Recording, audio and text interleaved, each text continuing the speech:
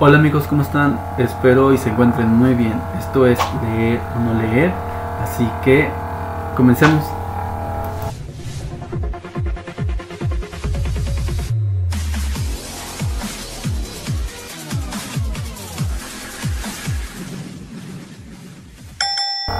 Bien, esta vez tal cual lo dice en el título traigo para ustedes leer o no leer La casa entre los cactus de Paul Penn.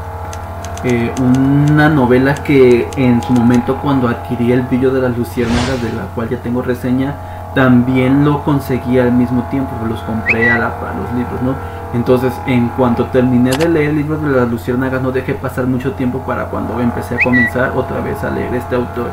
En este caso me tocó con la casa entre los cactus pero antes de pasar a decirles si me gustó tanto como el brillo de las luciérnagas o, o me gustó mucho menos o estuvo muy feo voy a pasar a contarles un poco de qué nos habla la casa entre los cactus. Así que pasemos ahí. Y bien, la historia se nos va a, introducir o nos van a presentar a una familia que son norteamericanos que están viviendo en, México, ¿no? en, en, un desierto de la República de México.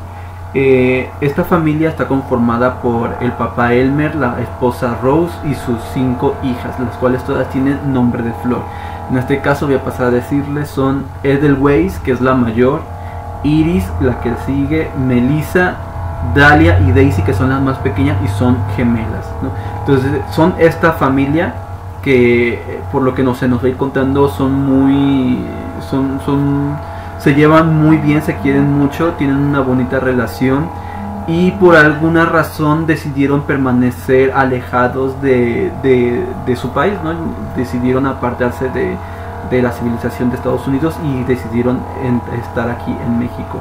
Aunque ninguno de ellos ha decidido optar del todo las costumbres del país, ¿no? No dejan que sus hijas hablen el idioma, ellos como que quieren que siempre tengan presente el inglés solamente como que a pesar de los años que tienen no hablan bien español, entienden algunas que otras palabras, porque quieren los padres que ellas entiendan y hablen perfectamente el inglés.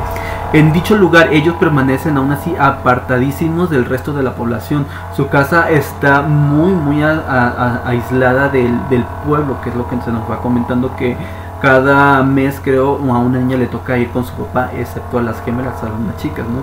Entonces eh, es una distancia muy larga para, llegar al pueblo, entonces también están apartados de dicha gente.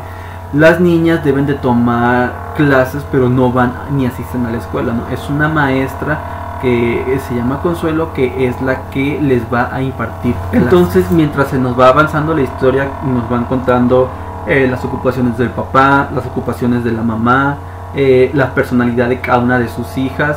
En este caso, Edelweiss desgraciadamente falleció, entonces se nos va a, contar y poco a poco cómo fue que pasó ello. La que sigue es Iris, la cual es una muchacha que está en el, en el mero momento en el que quiere conocer chicos, quiere un novio, entonces se la pasa leyendo y se la pasa fantaseando, fantaseando perdón, con la idea de algún día conocer a alguien y enamorarse de esa persona. Luego sigue Melissa, que es una, una, una chava que que quiere hablar con otras personas. A ella no le gusta estar siempre encerrada en su casa. Ella quiere conocer más, pero sus padres le hacen ver que la familia pues es eso, de que van a estar siempre unidos y que tienen que tienen que acostumbrarse a esa idea, ¿no? Entonces ella para de alguna manera salir de ese encierro y de esa soledad, ella se creó unos amigos. En este caso tres cactus como el de la imagen que, disfraza con ropa que le da su papá, a los cuales les termina poniendo nombres y habla con ellos. Y sus rocas, que aquí también en la imagen se ven las rocas.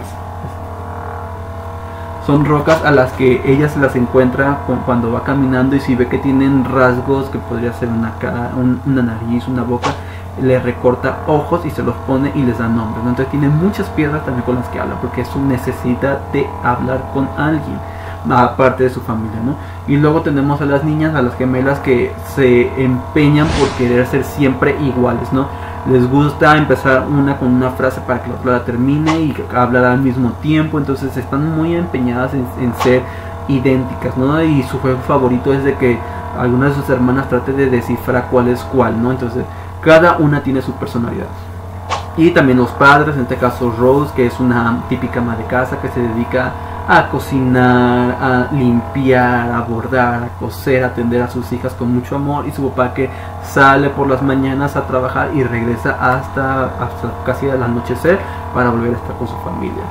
En este punto también se nos va a presentar, presentar la forma en cómo son educadas sus hijas. Y es que como les comenté, no, no, los padres no quieren que sus hijas asistan a un colegio.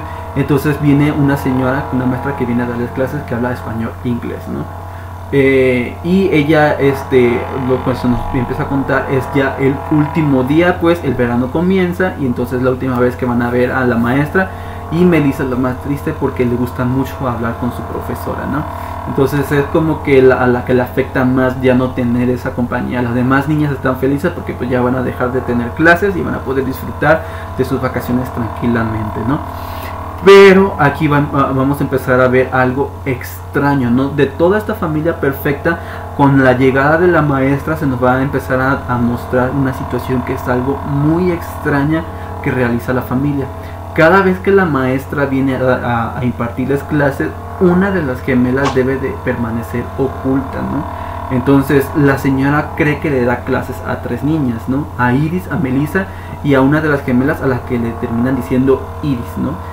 Eh, Lily, perdón, es porque para que no se enreden los nombres, cuando, cuando una de las niñas va a tomar la clase siempre es Lily, ¿no? Y para la maestra siempre le ha sido una niña a la que le estaba dando clases, ¿no? Entonces es algo muy extraño en el que se nos va a ir mostrando. Los padres justifican decir que lo hacen ante sus hijas por el hecho de que no tienen suficiente dinero para pagar a tantos niños, ¿no? Entonces lo que ellos creen es este que no les queda otra más que engañar a la profesora y decirle que solamente tienen tres hijas para que lo que les cobre sea mucho menor. Pero lo que en apariencia parece, parece tener sentido termina de derrumbarse por completo cuando va cuando llega un extraño a dicho lugar, ¿no? El cual también es americano y que en cuanto el papá se va a trabajar llega este hombre a la casa que en su apariencia es un chavo, un chavo en la apariencia es como un mochilero que anda viajando y es lo que les dice cuando se presenta ante ellas que ha estado recorriendo todo Estados Unidos y ahora quiere comenzar con este con el Estado de México pero cuando la mamá se da cuenta de que se está acercando esta persona, le dice desesperadamente a sus hijas que tienen que ocultar a una de las gemelas. Entonces volvemos otra vez a lo mismo. Aquí se nos muestra que no solamente ocultan a una de las niñas ante la maestra, también es hasta ante el resto de cualquier persona. Eh, cuando Edelweiss murió, también se mencionó que se ocultó ante el sacerdote cuando fue a darle a darle pues los rezos de lo que se tenga que hacer en, en ese momento también ocultaron a una de las gemelas, ¿no? Entonces, y ahorita con la llegada de este extraño pasa exactamente lo mismo. Entonces, aquí es como vamos a ver cómo comienza a surgir este misterio que alberga esta, esta familia y del por qué no quieren que el resto de las personas sepan que tienen a dos niñas gemelas. Eh, porque quieren que solamente crean que tienen a tres nada más, ¿no? Y sobre todo también por qué permanecen ocultos del resto del mundo, ¿no? Que, y es algo que va, que, que va a ocurrir con la llegada de, de, este extraño, va a llegar a revolucionar todo, todo, todo lo que la familia creó, ¿no? En este caso, en este caso va a cambiar por completo a la familia como a él mismo, porque el chavo cuando se presenta ante ellos les dice que es cierta persona, pero en realidad no es quien dice ser, ¿no? Entonces cuando ambos misterios se, ambas partes sean descubiertas de cuando estallará todo y se volverá un caos. Y pues es lo único que les voy a contar del libro, la verdad no quisiera darles más detalles porque si no les voy a dar muchos spoilers. Y pues ahora voy a pasar a decirles si me gustó o no me gustó La casa entre los gatos. Y la verdad es que el libro a mí me encantó. El libro yo lo amé de principio a fin. Ese misterio y ese ritmo que tiene el libro es en serio desde que lo comienzas hasta, hasta que lo terminas. No puedes parar. El libro, yo creo que una persona que tenga mucho tiempo lo termina en una sentada. Yo no encontraba tiempo para leer el libro. O sea, yo no era de que lo soltara porque ya no quisiera leerlo. Yo necesitaba seguir leyendo el libro para saber qué es lo que estaba ocurriendo aquí, ¿no?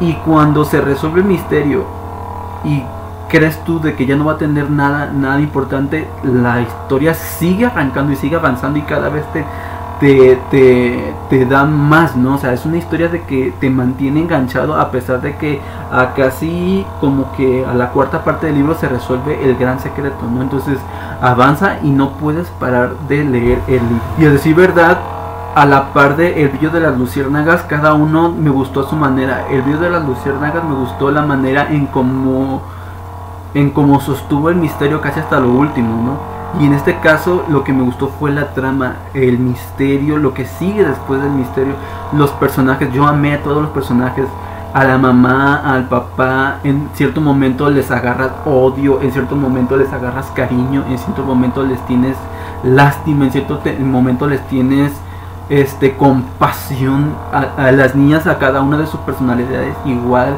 las quieres, o sea, por su forma de ser. Yo, yo me sentía ahí dentro de, la historia y me, y me gustaba ver lo que estaba leyendo con referente a los personajes.